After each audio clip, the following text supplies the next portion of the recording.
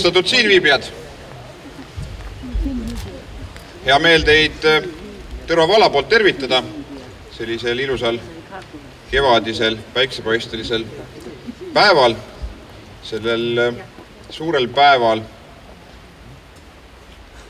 mis on äh, pühendatud ühele väga tähtsale, toimekale, suursugusele ja võimekale inimesele, kellel on väga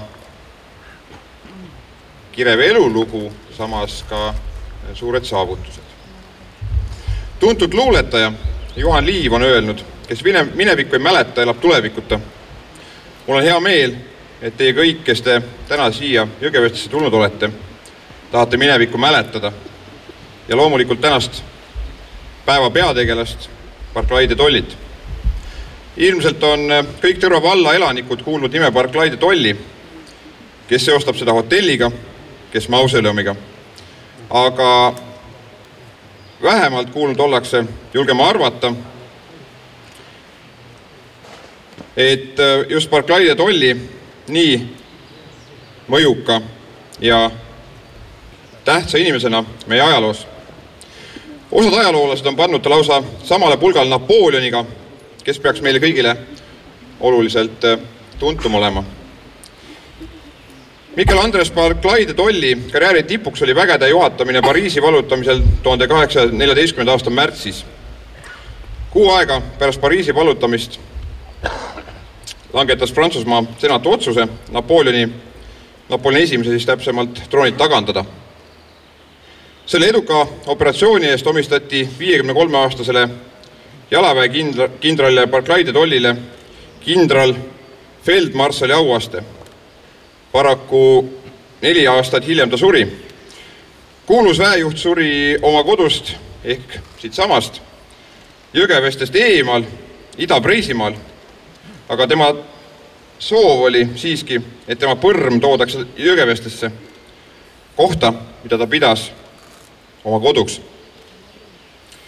kuuldavasti olevat tsaar tahtnud väejuhi matta Peterburgi, ent kuna Barclay de Tolli soov oli saada maetud Jõgevesse, jäi tema lesk abikaasa soovile truuks. hiljem laskis naine ehitada De Tolli mälestuseks ka selle just sama meie selja taga, minu selja taga oleva mausoleumi. ajaloolased ütlevad, et Michal Andres Barclay de Tolli on ilmselt läbi aegade kuulsaim Eestiga seotud inimene ja kuigi tema sünnikoht polnud siin ja tegu oli ilma, ilma näinud mehega, siis tema südamesoov oli, et viimaseks puhkepaigaks jääb seesama Jõgeveste. seda, mis te tollid selle piirkonna juures nii väga paelus, ei saa me teada ilmselt äh, kunagi. ainult oletada, aga tema mõtlemine on miski, mida võiks eeskujuks tuua ka tänasel päeval, kui üha rohkem noori ihkab minna avastama laia maailma minge, omandage uusi kogemusi, vaadake, kuidas elatakse mujal ja mis seal sellist, mille võiksime ka meie üle võtta. aga tulge samamoodi tagasi, nagu meie tänase päeva kangelane Barclay de Tolli tahtis tulla ja tuli.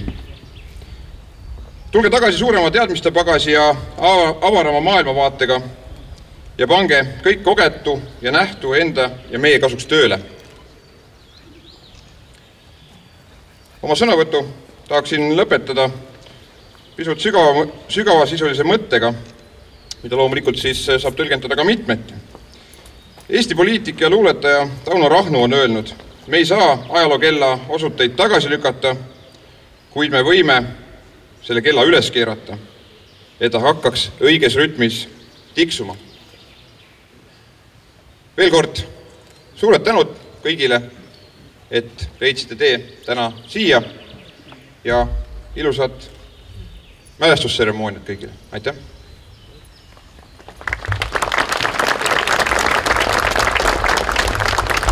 austatud Barclay de Tolli mälestusüritusest osavõtjad, tänane mälestusüritus on pühendatud kindralfeldmarssal vürst Mihhail Andreas Barclay de Tolli kahesajandale surma-aastapäevale mälestusüritusele on palutud ja on ka kohale saabunud palju külalisi. on Vene saatkonna esindajad ja ajakirjanikud, on Läti sõjaajaloo on Eesti Apostliku-Õigeusu Kiriku Pärnu issanda muutmise kiriku ülempreester Ardo Leon Keskküla, Eesti Evangeelse Luterliku Kiriku lõunapiirkonna piiskop Joel Lohamets, Eesti Evangeelse Luterliku Kiriku Helme Maarja koguduse pastor Arvo Lasting on ajaloolane Alo Särg. tänast mälestuspäeva muudavad kaunimaks Konstantin Türmpu nimelise meeskoori lauljad, dirigent Ene Kangron. politsei- ja piirivalveorkestri saatel tulime siia mausoleumi ette, et anda siis au nii auväärt mehele dirigent Hando Põldmäe. meil on suur au, et äh, tänast üritust mm, austavad oma osavõtuga Tõrva vallavanem Maido Ruusmann, Tõrva vallavolikogu esimees Enn Mihhailov, Valgamaa omavalitsuste liidu esimees Agu Kabrits ja ka Barclay tolli sõprade seltsist Siim Kabrits ürituse ettevalmistamisel ja läbiviimisel on osutanud abi Valga Isamaalise Kasvatuse Muuseum Meelis Kivi ja Estemets, Tõrva vallaasutus Vallavara, Helioti, Noorkotkad ja Kodutütred Margit Kolju abiga. ja tänase ürituse kui meie Helme kihelkonna ja meie koduvalla väga olulise isiku mälestuspäeval jäädvustab filmilindile Mediate firmast Kristjan Künk. mälestustseremoonia lõpul on võimalik külastada mausoleumi ja ka seda väikest muuseumi. praeguse andmetel on meil nii, et kui me lõpetame siin selle tseremoonia osa, siis on meil Riia sõjaajaloo klubi, kellel on kaasas ka püssid ja nende saate me saame ka lugeda tänase selle ürituse lõppenuks. kuid see ei ole veel kõik. Teid oodatakse seal Parkla platsis, teid ootab Mulgi kodukonna köök. aitäh teile kõigile tulemast, ilusat päeva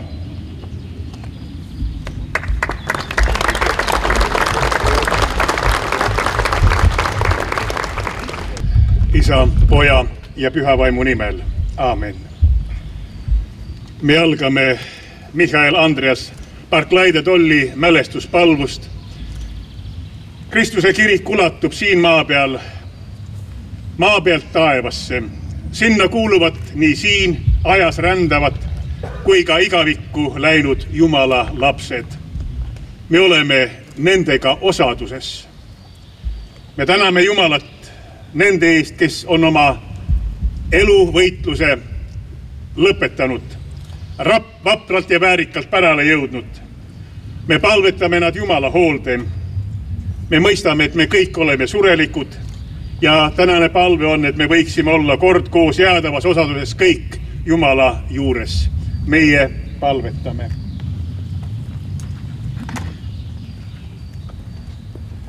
kõigeväeline Jumal sina oled oma poja kannatuse ning tema aulise ülestõusmisega avanud meile tee igavesse ellu. õpeta meid teda kõigest hingest usaldama. lohuta meid oma evangeeliumiga ja kingi meile pärast maise teekonna lõppu sinu juures jäädav rõõm. seda palume Jeesuse Kristuse, sinu poja, meie issanda läbi aamen. pangem tähele pühakirja lugemist, kus Apostel Paulus kirjutab. viimaks veel, saage vägevaks issandas ja tema tugevuse jõus. pange ülle Jumala sõjavarustus, et te suudaksite seista kuradi salanõude vastu meil ei tule ju võidelda inimestega, vaid meelevaldade ja võimudega, selle pimeduse maailma valitsejatega, kurjade taevaaluste vaimudega. seepärast võtke kätte kõik Jumala sõjavarustus, et te suudaksite vastu panna kurjal päeval ja jääda püsima, kui te olete kõik teinud.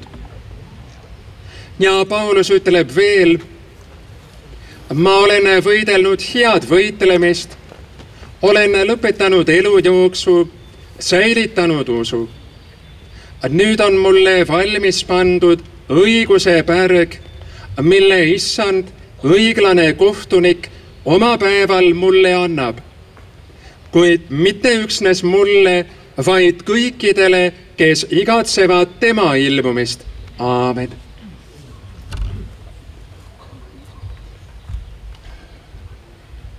head kohalolijad, me mõtleme täna ühe suure väejuhi mälestusele.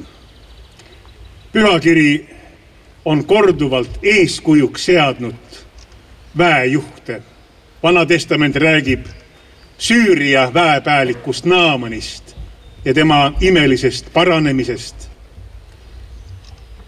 Kapernaumas seadis Jeesus jüngritele eeskujuks ühe Rooma ohvitseri usu ta ütles, et ma ei ole Iisraelis leidnud ühelgi mehel sellist usku nagu tollel väeülemal. Jeesuse risti all seisis üks Rooma ohvitser ja kui Jeesus hinge heitis, siis andis ta kogu maailma jaoks tunnistuse, see mees oli tõesti Jumala poeg. kogu meie elu on võitlus. pühakiri annab mõista, et me oleme kõik justkui sõdurid siin maailmas. ja meil tuleb võidelda, et me võiksime püsima jääda. põllumees võitleb umbrohuga. niisama olles kultuurtaimed lämmatatakse.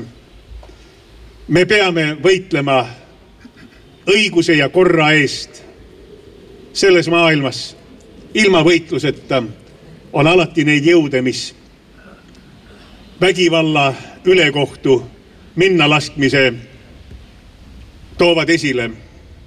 me peame võitlema iseseisvuse, me peame võitlema vabaduse, me peame võitlema korra eest.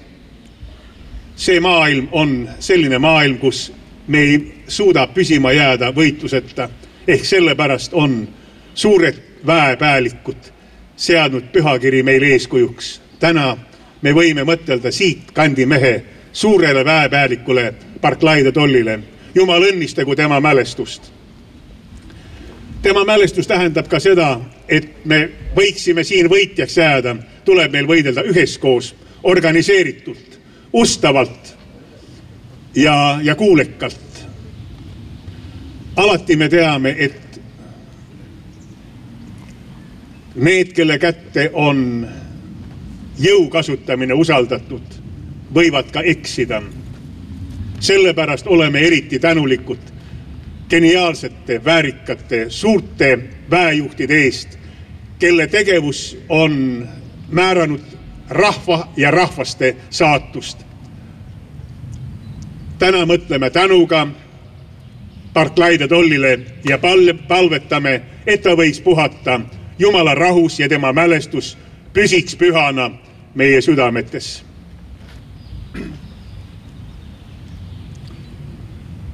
kiidetud olgu meie Jumal alati nüüd ikka ja igavesti. aamen.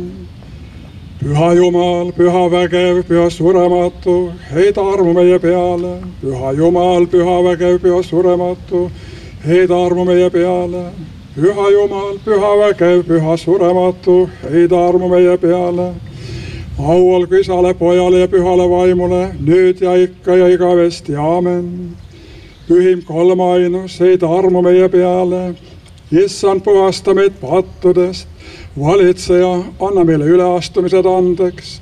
püha, tule ja arsta meid nõtrustest oma nime pärast. issand teid armu, issand teid armu, issand teid armu au olgu isale, pojale ja pühale vaimule, nüüd ja ikka ja igavesti, aamen. meie isa, kes sa oled taevas, pühitsetud olgu sinu nimi. tulgu sinu kuningriik, sinu tahtmine sündigu nagu taevas, nõnda ka maa peal. meie igapäevast leiba anna meile tänapäev ja anna meile andeks meie võlad, nagu meiegi andeks anname oma võlglastele ja ära saada meid kiusatusse, vaid päästa meid ära kurjast, sest sinu, isa ja poja ja püha vaimu päralt on kuningriik, vägi ja au. Nüüd ja ikka ja igavesti, aamen. palugem issandat, issand ei taaremu, vaimude ja kõigi lihalike Jumal, kes surmaga surma maha tallasid ja neile, kes hauas olid elu kinkisid võta ise meie palve vastu oma sulase Michal Andrease ja kõigi nende hingedest, kes temaga koos võitlesid ja langesid, kes nüüd kõik on vaimuilmas. anna neile andeks siin ilmas tehtud ülekohus või üleastumised või patud, sest ei ole inimest, kes siin elab ja ei eksiks. sina ainus oled patuta, sinu õigus on õigus igavesti ja sinu sõna on tõde. lase siis puhata oma uinunud sulased, rõõmu ja rahu paigas, kust on kaugel kõik valukurbustanud tohkamised. hea ja inimese armastaja Jumal, sina õnnistad ja püüdsed kõike ja sulle ja sinu alguseta isale ja pühale eluloovale vaimule anname austust nüüd ja ikka ja igavesti. aamen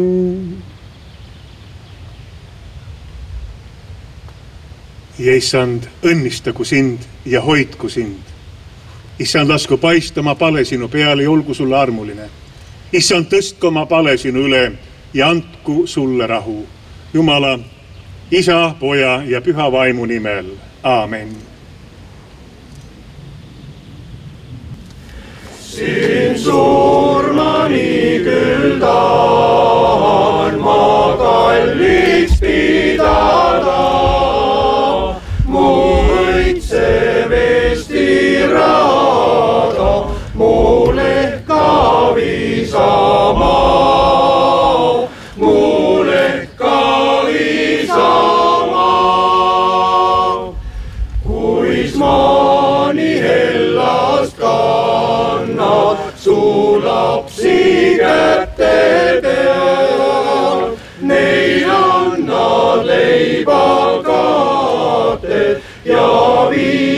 viimast aset veel ja viimast aset veel ja tihti siiski leian su silmis pisaraid.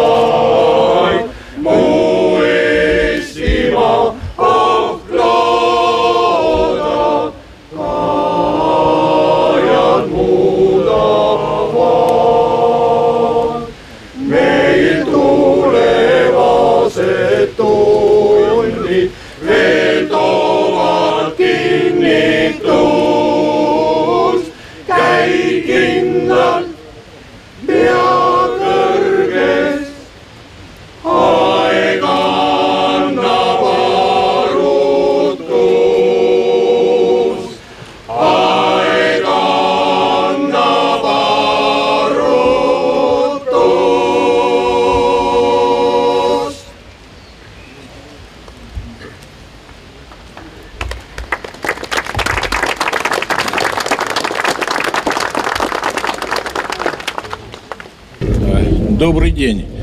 Э, От имени и по поручению посла России в Эстонии Александра Михайловича Петрова э, разрешите высказать вам слова благодарности за то внимание и теплоту, э, с которой вы относитесь к нашей совместной истории. Эстонцы, эстоноземельцы, они помнят многое. Республика продолжает праздновать вековой юбилей. Но здесь написано два века. Два века, э, как ушел из жизни вот этот э, замечательный человек. Таким людям, выдающимся полководцам, государственным деятелям, им издаются о них у нас в России книги. Мы помним, чтим их И очень благодарны тем и признательны, кто э, не забывает их подвиги, их выдающуюся жизнь. Ведь чем крепче наша общая историческая память, тем меньше возникает различных вопросов и взаимных упреков на различных исторических э, поворотах. Особые слова благодарности хочу сказать тем, кто э, здесь э, сохраняет этот исторический комплекс. Мы сегодня были в Тарту, там тоже планируется мероприятие. Завтра я буду э, в Таллине вручать эту книгу подрастающему, молодому поколению в Центре русской культуры, тем, э, кто чувствует себя сопричастным э, со своей родиной, с нашей общей историей. Вы знаете, двухвековой юбилей будет отмечаться не только у тех, кто почил и, и почивает в эстонской земле, Буквально через пол э, месяца мы будем отмечать 220 лет, как на эстонской земле в городе Хапсулу родился выдающийся российский государственный деятель, э, министр иностранных э, дел князь э, Горчаков. Там, в Хапсулу, на доме, где он родился, мы установим доску, э, э, на которой будет написано, что 220 лет назад он там родился. 220 лет назад это было Э, события назад, но все его помнят. Помнят в России, помнят в Эстонии, за что вам всем большое спасибо.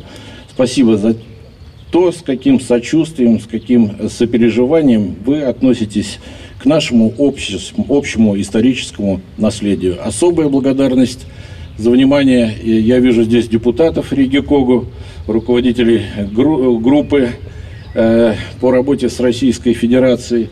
Поэтому знак признательности сейчас передаем господину Грязину эту книгу. Пусть у него будет на память об этом э, знаковом мероприятии. Большое вам спасибо, успехов, здоровья.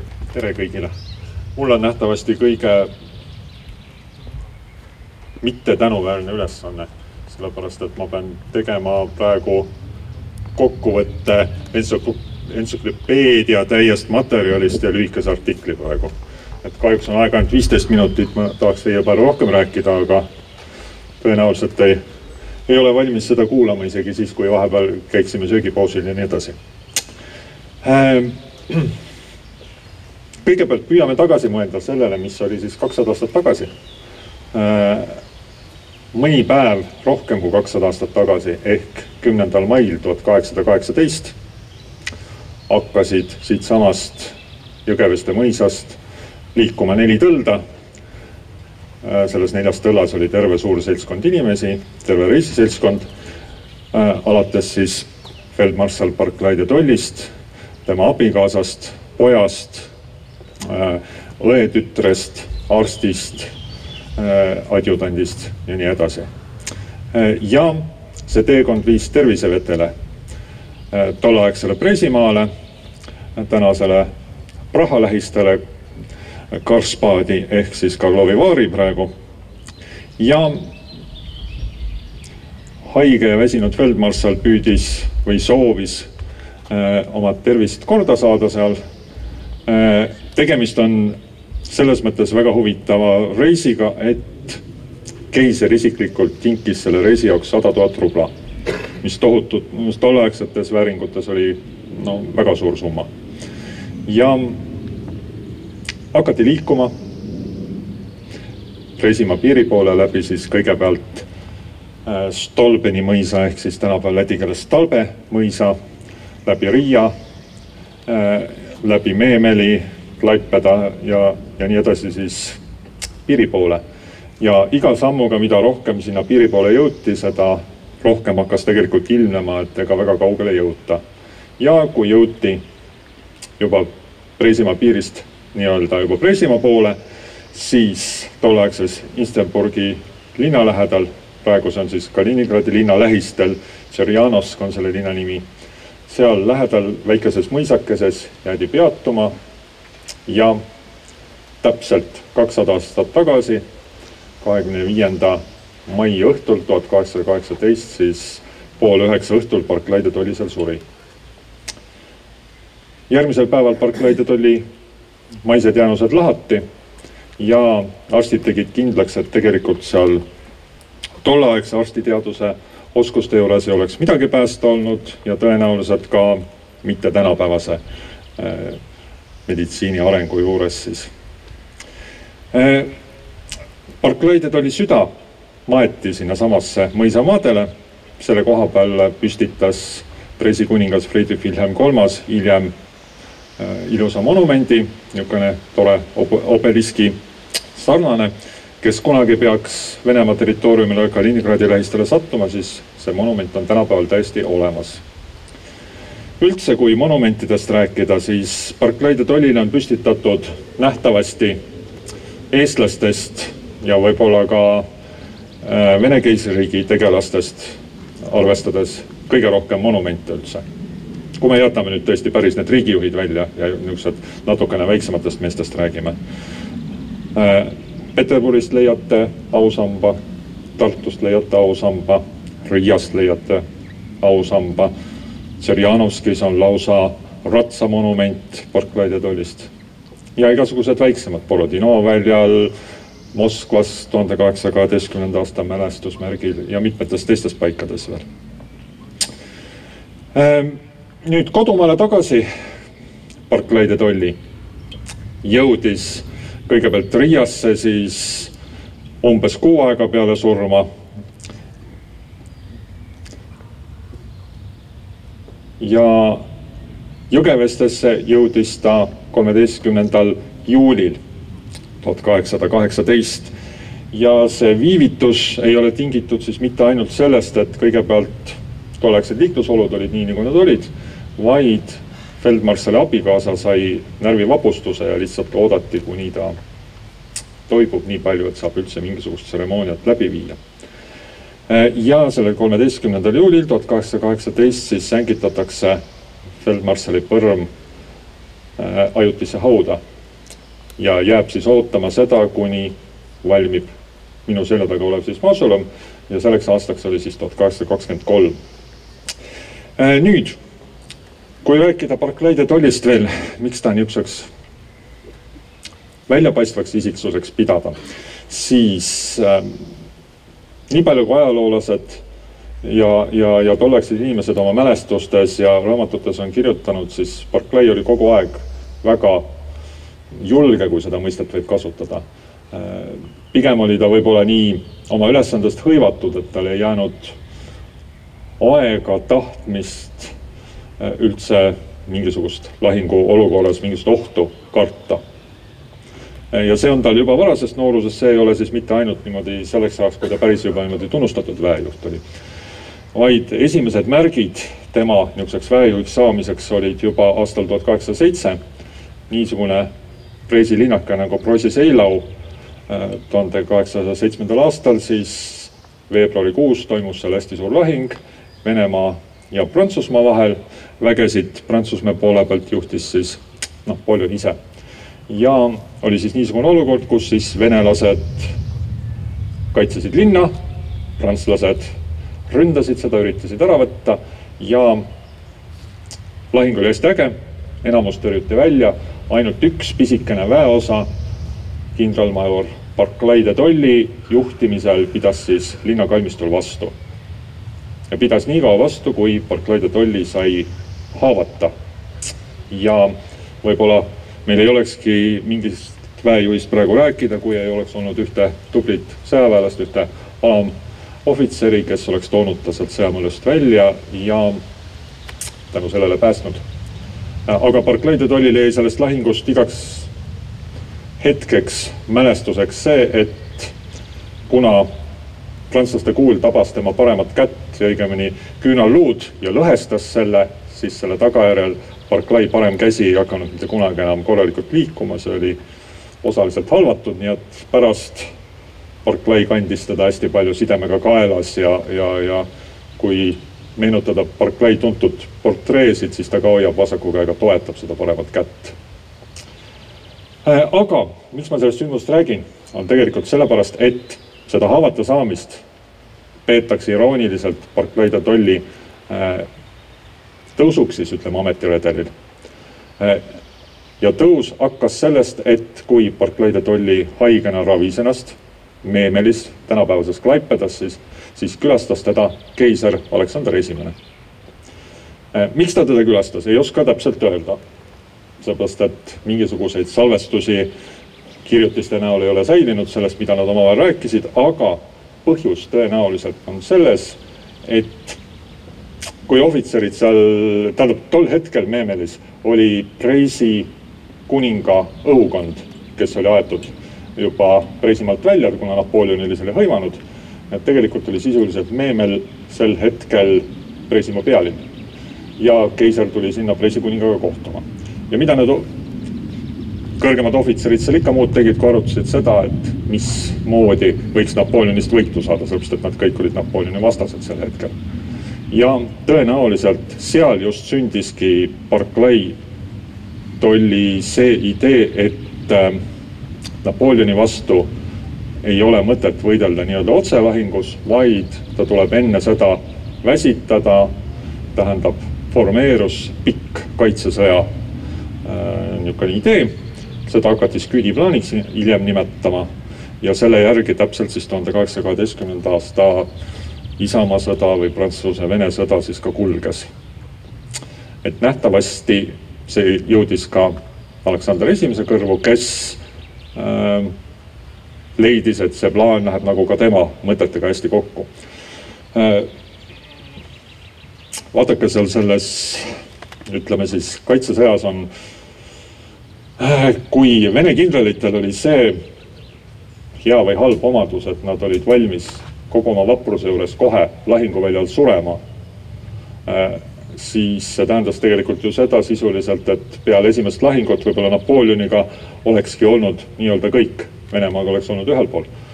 Äh, siis Aleksander kui riigijuht vajas armeed ka edaspidi, mitte nii, et on ainult üks kuulsusrikas lahing ja, ja siis rohkem midagi ei ole.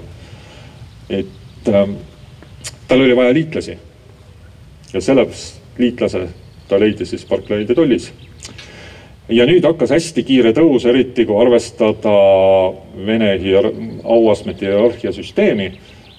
see tekitas hästi palju niisugust vaenu, ütleme siis nii, kõigi teiste kaaskondlaste hulgas. ja ma üritan mõned, mõned tähtsad punktid siis leida. kõigepealt, kui tuhat kaheksasada seitse see Barclay seal ravis ennast, siis tuhat kaheksasada kaheksa äh, sai ta kindralleitnandiks sai Georgi ordeni kolmanda järgu, Georgi orden on äh, Tsaari-Venemaa kõige kõrgem sõjaline autasu ja kolmandat järku juba oli vähestel, ütleme siis nii.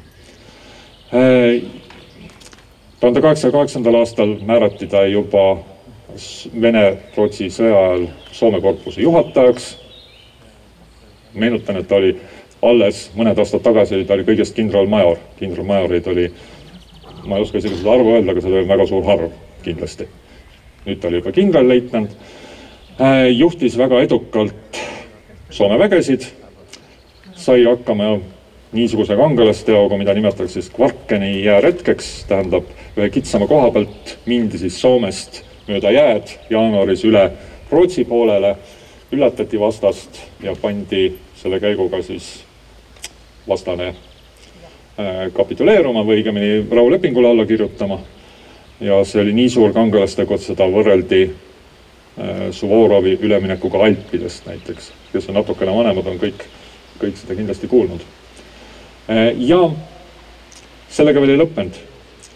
järgmine aasta juba sai Barclay de Tolli Soomes olevate vägede ülemjuhatajaks, siis sai Soome suurvürstiriigi kindral kuberneriks tuhat kaheksasada kümme sai tast Riiginõukogu liige ehk siis tänapäevane no midagi meie ministri või midagi sinnakanti ministri vastu, et äh, siis tuhat kaheksasada üksteist oli ta sõjaminister juba ja sai ka jalaväekindraliks.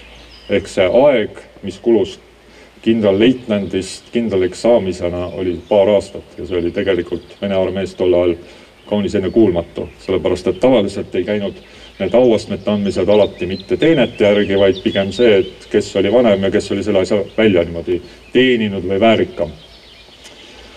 Ehm, ja kui puhkes siis tuhande kaheksasaja kaheteistkümnendal aastal sõda siis Venemaa ja Prantsusmaa vahel, siis Barclay de Tolly juhtis esimest armeed.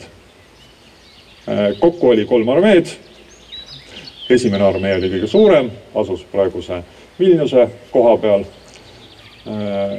teine armee oli natukene väiksem, seda juhtis kindral Bagratjan ja nende kahe mehe vahel hakkas kõige suurem rivaalitsemine. tähendab, kogu sõjategevus seisnes tegelikult selles tol hetkel, et Vene vägi püüdis äh, viisakas kauguses Napoleoni eest ära minna. viisakas kaugus selles mõttes, et ei tekiks pealahingut, sellepärast et Napoleoni väed olid oluliselt suuremad kui Vene väed, ka paremini varustatud äh, ja idee oli ta siis meelitada võimalikult kaugele ja selle pealahinguga võimalikult palju venitada.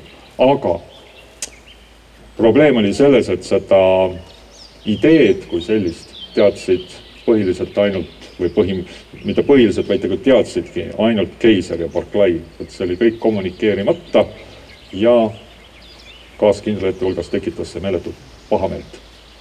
nii, aga ma ei hakkaks sellest tuhande kaheksasaja kaheteistkümnendast aastast nii väga pikalt rääkima enam see on kõik teile tuttav tõenäoliselt. Äh, ja igatahes tekitas Barclay enda vastu tohutult palju pahameelt, teda nimetati reeturiks ja nii edasi ja nii edasi. Äh, ja kui tuli Borodino lahing, siis kui juba ülemjuhatajaks oli määratud Kutuzov, jälle kindlasti tuttav nimi, siis äh, mõnes mõttes ta Borodino lahingus ennast Äh, nagu tõestas või, või, või taastas oma positsiooni sellega, et ta juhtis äh, Borodino lahingu tsentrit ja, ja ühte tiiba. Ehk enamus sellest lahingust mitte juhtinud Kutuzov, Kutuzov oli tol hetkel juba seitsmekümne ringis meesterahvas, kes äh, ei olnud lahingus, vaid tol ajal teatavasti ei olnud nii, et kogu see kommunikatsioon käis koha peal nii-öelda luges see, kes kohapeal juhtis vägesid, mitte see, kes käis kaugelt, sellepärast et need äh, ideed, mis sealt kaugelt tulid, lihtsalt ei ulatunud õigel ajal õigesse kohta. ja Barclay oli siis see tegevjuht. Äh, ja mis tema kange, kange, mingis mõttes kangekaelsust, kangelaslikkust seal siis näitas, oli see, et äh, pärast leiti, et tema kuue sees oli kuuliauk, tema all lasti maha kuus hobust tema viis adjutanti said osa haavata, osa surma ja Barclay'de tollil ei olnud ühtegi kriimu, kuigi kõik rääkisid, et ta otsis sealt surma ja lunastust, aga niisugust õnne, nagu temal oli, ei olnud.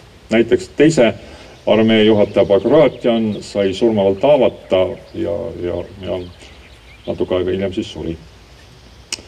nüüd äh, Kutuzov ei tunnistanud Barclay'd ja see Barc-, niimoodi ebasoosing mingis mõttes jätkus. Kutuosi poolt oli see ka selles mõttes mõistetav, et noh, vaevalt, et ta tahtis oma võiduloorbäreid ja kõike seda oleks tahtnud eriti jagada kuskile. ja päädis asi sellega, et Barclay peale seda, kui prantslased olid juba Moskva ka hõivanud, peale seda lahkub ta armeest ja nähtavasti siis on kõige pikem periood, kui ta viibis Jõgevestes on lausa mingisugune poolteist, kaks kuud. Äh, tõenäoliselt ta rohkem nii pikalt ei ole siin üldse viibinudki, et noh, tegelikult see Jõgeveste on, talle küll meeldis siin väga, aga olude sunnil ta siin väga palju nähtavasti ei ole saanud olla. Äh, aga juba siis kaheteistkümnenda aasta lõpus, kolmeteistkümnenda aasta alguses hakkas siis nii-öelda Vene vägede jaoks kuulsusrikas Euroopa periood, kus siis Barclay de Tolly kõigepealt juhtis äh, Vene väeosasid, küll Kutuzovi käe all esialgu, pärast oli ta päris Vene vägede juht, siis isegi mõned kuud oli ta kogu liitlasvägede juht. ja päädis see sellega, et siis ta tõesti äh, sai siis tuhande kaheksasaja viieteistkümnendal aastal nii feldmarssali auastme kui vürstitiitli ja oli igatpidi tunnustatud mees.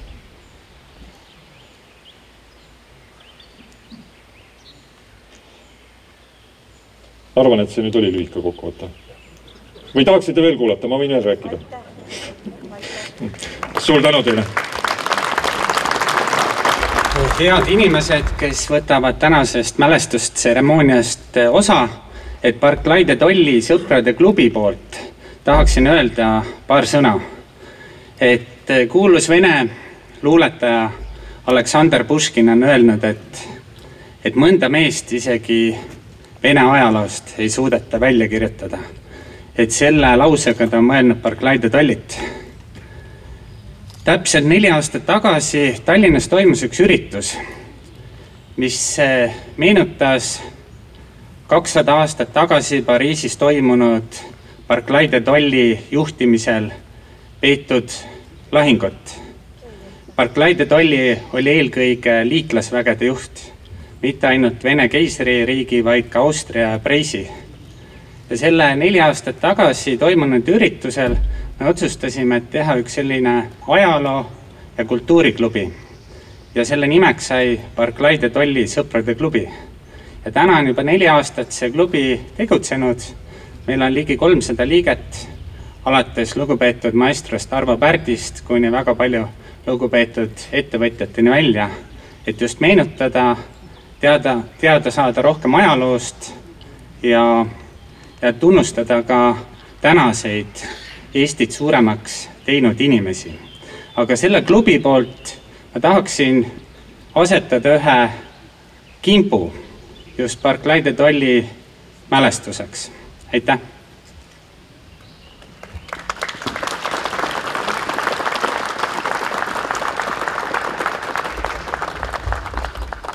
tere päevast! mul on hea meel näha selline hulk rahvast täna siin Arklaide tolli mausoleumi juures. olen olnud aastatel kaks tuhat neli kuni kaks tuhat seitseteist Helme vallavanem. ja mul paluti rääkida natukene siin toimunust, muudatustest, mis on aastate jooksul tehtud. ehk kohapealsete infrastruktuuri muutustest kaks tuhat neli tulles valda etteotsa jaanuarikuus ei osanud ma unestki ette näha, mis mind ees ootab seoses mausoleumiga. kui ma õieti meenutan, siis umbes aprillis oli Eesti riigi esindus ehk siis kohapealne võim, maavalitsus maavanema eestvedamisel mul kabinetis ja ütlesid, härra vallavanem et me tahame teile mausoleumi kompleksi üle anda. siiani on hoolt kandnud Eesti riik, aga nüüd võiks kohalik omavalitsus. nii see läks, üle sai võetud ja meenutades seda pilti, mis siis oli, oli see ju enam-vähem paljudele tuttav, kes on koolis omal ajal käinud, sest enamus ekskursioone käisid ikkagi kooli ekskursioone mausoleumist läbi. seesama rada oli tihtipeane, sombune, savikas ja küllalt tülikas oli siia tulla. ehk, ehk mina, eks minagi käisin siin koolipõlves korra kaheksakümnendatel aastatel. kuid nüüd ei osanud kohe midagi peale hakata selle objektiga kaks tuhat viis aasta jaanuari torm tegi oma töö ehk taevased jõud andsid korralduse. kahel pool näete uut alleed. torm võttis selle kaheksakümne protsendi ulatuses Nulu allee maha. ja uskuge mind, ka fotod tõestavad seda. Viimased alleed olid siin minu vasakul ja paremal käel ja mõlemad kukkusid mausoleumist kõrvale maha, kriipsugi jätmata mausoleumi hoonele. see tähendab midagi, ma arvan vähemalt nii. regionaalminister käis kohal, pakkus abi, kuid see oli nii väetike rahalises mõttes Eesti kroonides, et äh, nende puude likvideerimist ei oleks suutnud sellega. Õnneks tulid ettevõtjad appi ja leidsid, et seda materjali, mis siia maha kukkunud on, on võimalik ettevõtluses ära kasutada. nii nad Tartumaale rändasid. loomulikult praht tuli omal ehk omavalitsusel koristada, kokkulepped ei pidanud. aga see selleks. hakkasime mõtlema edasi vallavolikoguga, et kuidas edasi liikuda. ja esimene suurem äh, rahastus on täpselt seesamane kõnnitee siin ja need platsid teie ees, kus Helme vallavolikogu otsustas omal jõul ja oma raha eest ehk valla raha eest siis selle rajada. mul on ääretult hea meel, et tol korral noored mehed julgesid julgeid otsuseid teha. edasi hakkasime projektidest otsima rahastusi ja nii saime nende samade alleede nüüd äh, püramiid, Tamme allee ja tagumise mausoleumi hoone kohta rahastuse. et oleks see kompleks korras. kui te hiljem liigute, siis mausoleumi taga on ajaloonurgake Valvuri majas, majja ehitatud.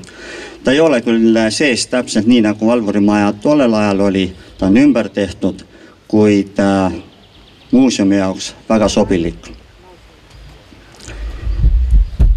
projektipõhiselt sai veel tehtud eraldi esimene parkla, kus teil tehnika seisab. ja kui ma nüüd vaatan tagasi seda lugu, neliteist aastat ja nii palju edu saavutatud selle kompleksiga, siis ma mõtlen, et tõenäoliselt oligi see omavalitsuse kohustus oma kohalikke objekte korda teha. ja ma usun, et ka praegune omavalitsus Uus Tõrva vald veab edasi väärikalt seda kompleksi korrashoidmist ja parendamist. mul oli hea meel näha, et siin selja taga oleval mausoleumhoonel oli katuse äärekene veidikene nii-öelda ajahambas puretud ja aasta alguses ma palusin volikogu liikmena, et ehk leitakse sinna nii-öelda rahalist toetust. ja täna oli tõesti hea meel näha, et see on korda tehtud kokkuvõttes tahan öelda teile kõigile, et kes on panustanud siia ja kes panustavad, sügav kummardus minu poolt ja ma usun, et väejuht Parglaide Tolli jääb meiega igati rahule. aitäh!